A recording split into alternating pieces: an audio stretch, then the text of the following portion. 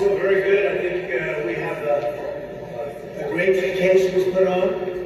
There is no crime. In fact, I just got almost every review that's been done of the case so far. As they say, there is no crime. This should have never been brought. It should be dismissed before you even have a verdict. But uh, we have a judge that's extremely, uh, let's say complicated, but let's also say conflicted. He's complicated and conflicted. And uh, it's a very strange situation. Nobody's ever seen anything quite like it.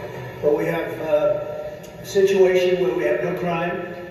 And this next couple of hours is very important because the judge can try and manufacture one where he goes from a misdemeanor, which doesn't exist because of the statute of limitations, doesn't exist, absolutely and they try and bring it into a felony, but you can't do it because they haven't been able to prove it. And you see what's happened there with the border. Remember, I'm gagged. I'm not allowed to say what I'd like to really say because you'd be very impressed.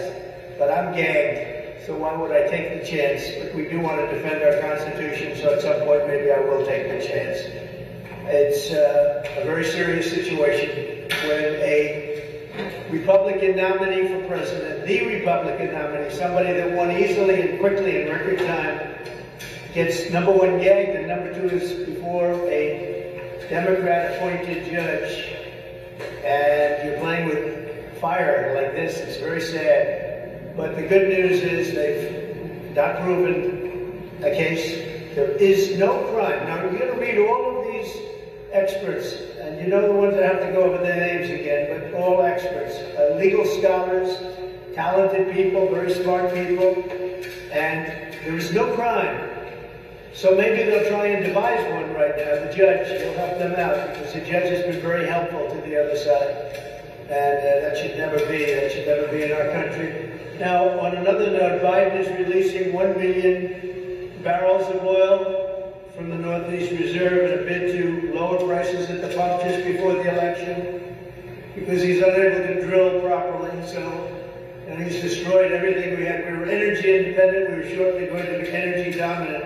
And now he has to go into what's called the strategic reserves to give oil and gasoline essentially for cars so they don't have to go up to seven, eight, nine dollars a barrel. By the way, if he ever got in again, you're, you're, you would be paying more than ten dollars a barrel. But I hope he doesn't get elected, those that drive cars. And by the way, and everybody else in our country. So, this is a big story, just came out.